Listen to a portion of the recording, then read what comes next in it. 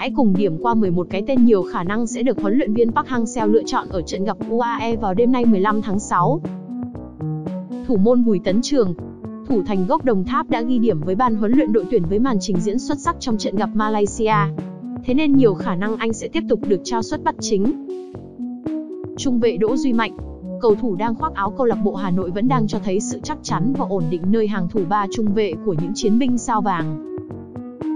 Trung vệ Quế Ngọc Hải Thủ quân của đội tuyển Việt Nam đang có đà thăng hoa sau bàn thắng mang về chiến thắng 2-1 cho đội nhà ở trận gặp Malaysia. Ngoài khả năng phòng ngự tốt, số 3 còn có thể phát động những pha bóng phản công nhanh bằng những đường truyền vượt tuyến chính xác. Trung vệ Bùi Tiến Dũng Tư Dũng thi đấu tròn vai trong hai trận đấu vừa qua cùng bộ khung quen thuộc của hàng thủ đội nhà. Trước một đối thủ mạnh như UAE, nhiều khả năng anh sẽ phải làm việc vất vả hơn. Hậu vệ trái đoàn Văn Hậu anh đã có một trận đấu với nhiều cung bậc cảm xúc với Malaysia khi là người kiến tạo và cũng là nhân tố phạm sai lầm gián tiếp mang đến bàn thắng cho đối thủ. Tuy nhiên, nhìn chung cầu thủ của câu lạc bộ Hà Nội vẫn sẽ là một lựa chọn phù hợp trong một trận đấu mà đội tuyển Việt Nam đề cao sự an toàn. Hậu vệ phải Nguyễn Trọng Hoàng. Hoàng Bò vẫn chiếm được lòng tin của huấn luyện viên Park Hang-seo ở hành lang cánh phải.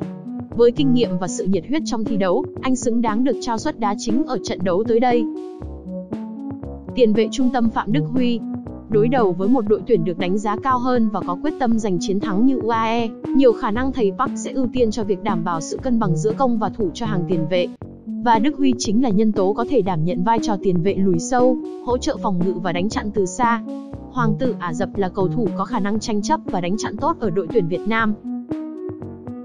Tiền vệ trung tâm Nguyễn Quang Hải Vị trí đá cao hơn một chút nơi trung tâm hàng tiền vệ có thể sẽ được Quang Hải đảm nhận. Anh đã hết án treo giò và vẫn là một cái tên được ban huấn luyện lẫn người hâm mộ Việt Nam kỳ vọng vào những pha bóng xử lý ở đẳng cấp cao. Tiền đạo trái Phan Văn Đức sự cần mẫn và luôn nỗ lực đã giúp Văn Đức góp mặt trong hai trận đấu vừa qua với tư cách cầu thủ được đá chính. Và ở trận đấu tới đây rất có thể sẽ không có ngoại lệ. Văn Đức sẽ xuất hiện ở hành lang cánh trái và nhận sự yểm trợ từ phía sau của Văn Hậu. Tiền đạo phải Nguyễn Văn Toàn.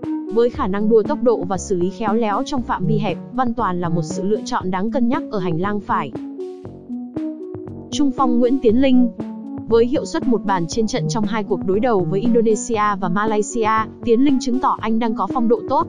Thầy Park cũng có thể trông chờ vào cái duyên ghi bàn của cầu thủ sinh năm 1997 vào lưới UAE như ở trận lượt đi tại Mỹ Đình.